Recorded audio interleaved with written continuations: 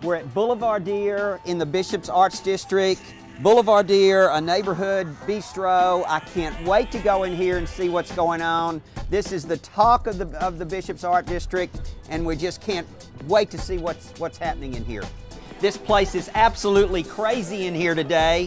It's full, it's packed. Rachel, what in the world are you serving these young ladies at the bar? A beautiful confit duck leg. It's going to have two grit cakes, two beautiful sunny side eggs on top, a nice little salad, um, beautiful huckleberry jam. And then um, we're gonna have our beautiful burger. It comes from our chef's farm, um, Tate Farms.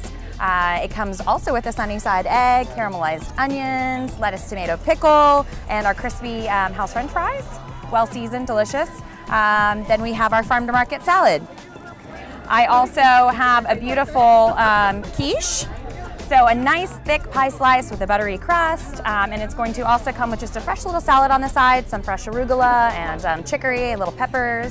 God, those dishes look absolutely fabulous too. Yes. So what are these things that we're that we're getting now? So a beautiful, um, it's a sandwich, open faced. Uh, it's called a croque madame. It's got a sunny side egg on top, some beautiful Gruyere cheese, a Mornay sauce, and um, served with our crispy French fries as well.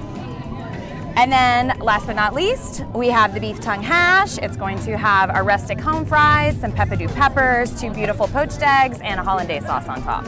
Rachel, you're so unbelievable. I know you got customers waiting for you. I do. Thanks for running out here and No telling us what all this is about.